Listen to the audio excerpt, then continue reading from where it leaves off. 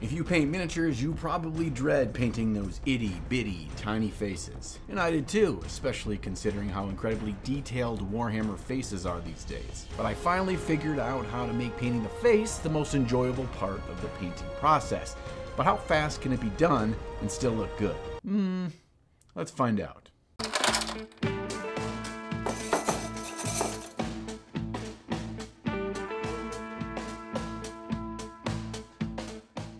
It satisfying when you get those little aha moments in your miniature painting where you finally figured something out that's been eluding you for a while? I know when I get those moments, I like to do two things. First, I like to tell you guys about it in a video, which is why we're here today. And two, I like to take that new knowledge and narrow it down to what's most important so I can make the biggest impact on my miniatures in the shortest amount of time. And I finally think I've unlocked those tricks for painting faces. I don't know if you can tell or not, but I'm pretty excited about this. So let's walk through the steps I use to paint Warhammer faces and see how quickly we can do it. We'll paint three Space Marine heads, one in an hour, one in 30 minutes, and one in 10 minutes. Let's start with the face I'm gonna spend a full 60 minutes on. And before we dig too deep into all the steps, I need to talk to you about the colors. I'll be using six different paints for this skin. And I know that seems like a lot, especially since we'll be mixing some of these together along the way to create half steps in color transitions as well. But it's not nearly as complex as it looks, I promise. To start, we only need a darker skin color and a mid-tone skin color. I'm using Barbarian Brawn and Dwarven Skin from the Two Thin Coats paint range. Oh, and if you wanted to pick up any painting supplies or models, check out my links down in the video description and those help support the channel. And you get an additional 10% off your entire order with Michigan Toy Soldier and they've got the biggest inventory in North America. The lower half of the face is painted with the darker color, and the upper half, starting at the nose and top of the cheekbones, is painted with a 50-50 mix of the dark and the mid-tone skin colors. This gives us the perfect starting position of a natural light and shadow over an oval-shaped face, while still keeping the warmth even in the shadow regions. Now, if you're painting a man's face, you can sell that rough 5 o'clock shadow by mixing in a little bit of dark desaturated blue into the dark skin tone and hit the darker areas of the lower parts of the face, like the underside of the cheekbones, below the nose, and in any creases and folds. Now, even if you don't want to put a beard on your miniature or you're painting a female face, a very thin glaze of a desaturated dark blue down in the lower regions of the face will go a long ways in selling that natural look of human skin. It gives you a depth of color that you'll never receive from just a skin tone out of a bottle. I then thin down my black red to a very thin glaze with just water, and I add that to the cheeks and the lower lips for the same reason. I'm building color depth and smoothing out the transition from the upper half of the face to the darker lower half.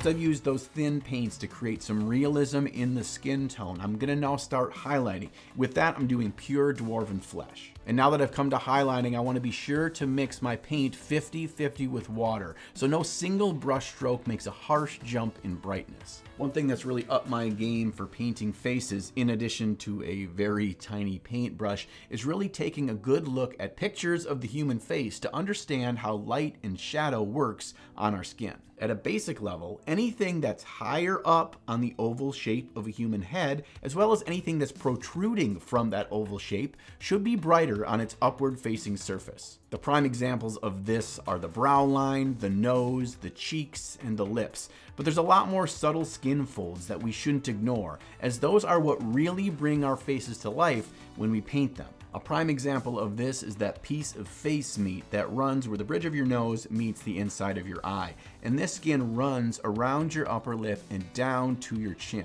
That muscle is called the nasolabial fold. Hmm, that sounds like a dirty term. But knowing the dirty name of this muscle isn't what's important. What's important is that you remember to paint it. Now here's where I used to call my face paint jobs complete. But we have to remember that human skin is very reflective, especially the face, because it's naturally more oily than the rest of the skin on our body. So I'm going to push myself by going brighter, mixing in some sunny skin tone to my dwarven flesh. I'm working in smaller and smaller areas, focusing on the upper half of the face specifically. I'm punching up the brightness over a few thin layers. Now I'm never going to work up to a pure sunny skin tone. That's much too vibrant in orange to look like human skin. So to keep a bit of that dwarven flesh tone but go brighter, I'm going to mix in some ice yellow to that mix.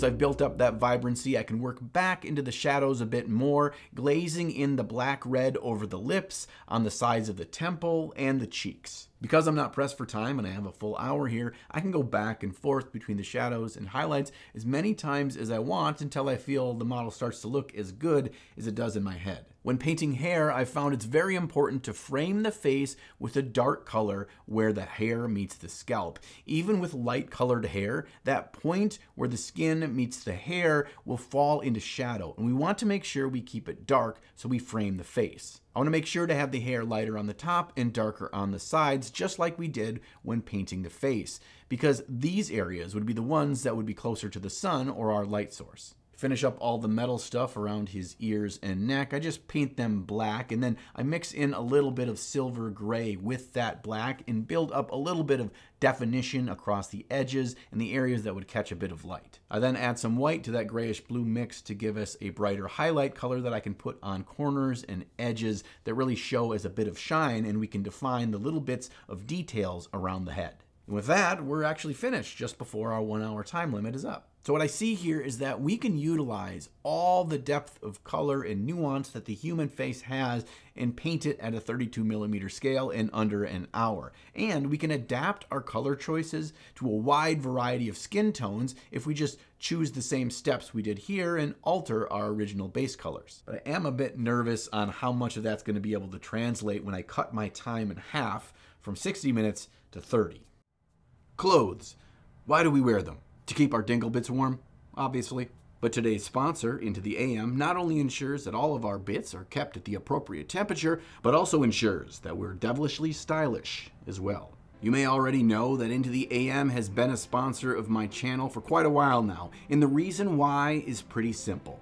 I am consistently impressed by the quality of their products. And because of that, I can be confident that you'll be equally impressed by the work of their skilled artisans that craft each garment from the highest quality fabrics and eco friendly inks. The shirts won't stretch out or fade, and the ink won't fade away, bleed in the wash, or crack. And they're constantly releasing new designs, so you'll always find something that speaks to you, like this sick Reading Rainbow in Space shirt. So check out Into the AM by clicking on my link below and be sure to see what awesome sales and bundles they have going on. And since you're using my link, you'll get 10% off your entire order. A big thanks to Into the AM for being that butterfly in the sky. Now let's get back to the video.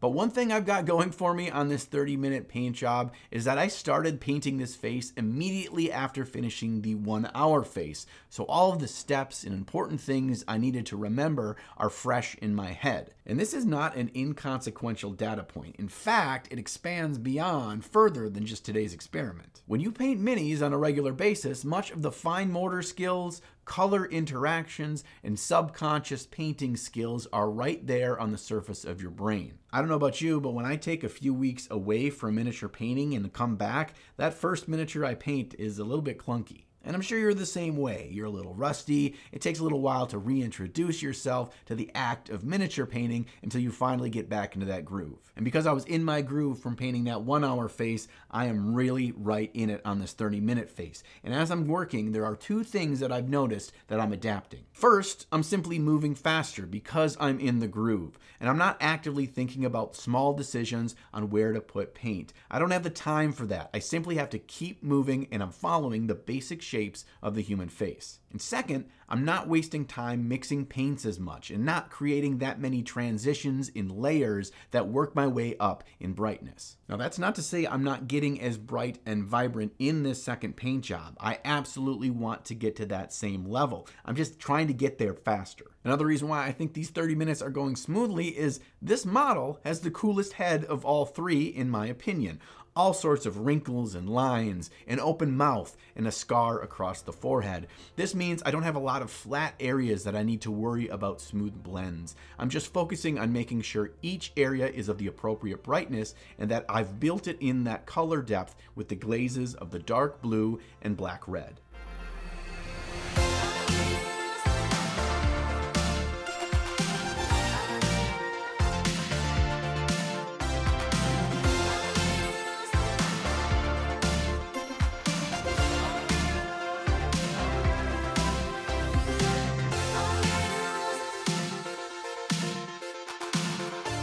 One point, I felt like I got too bright too fast, so all I did was take my base color, Barbarian Brawn, and thinned it down with water to a glaze, and I can slowly put that across those areas that are too bright to pull them back in. And this is a little trick that I use all the time when I'm building up brightness on my models. You can always glaze your midtone back over your highlights to pull those colors back together. Going too bright or too desaturated as you're highlighting is always an easy thing to fix. When I started working on the hair and the metal crap around his neck, I realized I was almost out of time. I just made sure to frame the face with darker colors and I then added a few edge highlights to define the shapes of these surfaces and that's gonna have to do for now.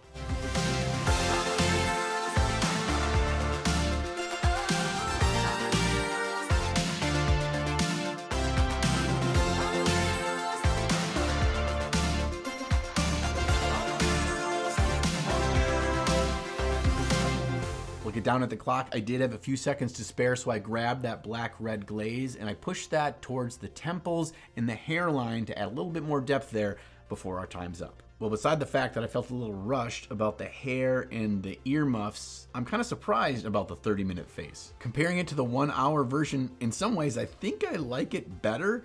Maybe it's just because I think the face is a cooler expression, but there's still something amazing to learn here. Once we get the hang of how to use each color to bring up depth and brightness in the correct areas, we don't actually need all that much time to execute.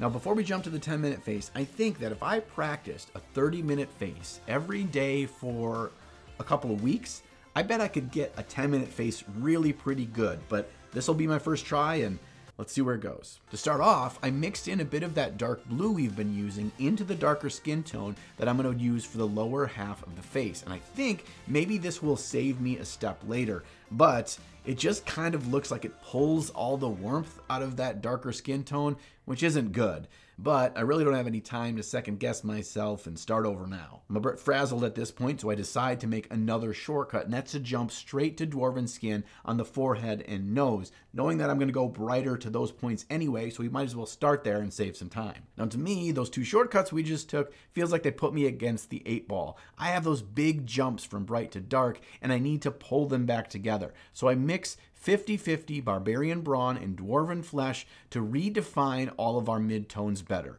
I want to be sure I'm making all of those smaller shapes on the face pronounced before we move forward. As soon as I feel like I've pulled it back where I want it just a little bit, I gotta jump to highlighting and spend some time with some dark blue mixed with our black red and put that around the eyes to really create some definition in all the small details around his eyes. I realize that just mixing our shadow colors into our base colors does not do the trick, so I worked my glazes back again, using the dark blue across his shaved head and the black red across his cheeks. At this point, time is running out way too fast, so I have to decide where to spend my last few minutes.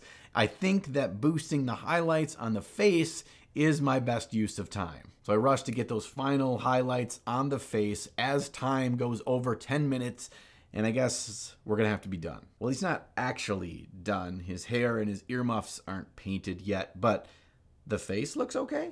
And with that, we have heads painted in one hour, in 30 minutes, and in 10 minutes. And I know we still have the rest of the model to paint before we consider a paint job done, but I find that if I get the head painted well and I think it looks cool, I'm that much more excited to paint the rest of the model. And conversely, if I'm dreaded painting the faces, I end up not painting as much as I probably should. And I know I can already hear you barking in the comments about the fact that I didn't paint their eyes. Well, I have a little conspiracy theory that Games Workshop specifically makes Space Marine faces with so much detail that give you no space to paint an eye, so it just saves us from ever having to do that. So unless I'm painting for a competition like Golden Demon, I never bother painting a Space Marine's eyes, and neither should you. And after this experiment is all over, the biggest thing I'm walking away with is what can be accomplished in painting a face in just 30 minutes. I don't think the jump from 30 minutes to one hour was that much of an improvement at all. But what do you think? Can you tell there's a big difference between 30 minutes and an hour? Let me know down in the comments. And while you're down there, why don't you let me know what you think of videos like this, where I get a little bit more into the nitty gritty on painting a specific thing. A big thanks for those of you that share that feedback with me. It really helps me understand what you like to see in videos and how I can make that happen. Also, a massive thank you for watching the video all the way to the end. It really does mean a lot to me. And thanks for subscribing to the channel as well. Maybe you picked up a Ninjon shirt along the way. Maybe you used my links to buy some miniature goodies, or maybe you've joined me over on the Ninjon Patreon. Your support and interest in this weird little miniature painting YouTube channel is a true inspiration. I'll be back before you know it with another video, and sometime between now and then, make sure you find time in your day to slay the gray.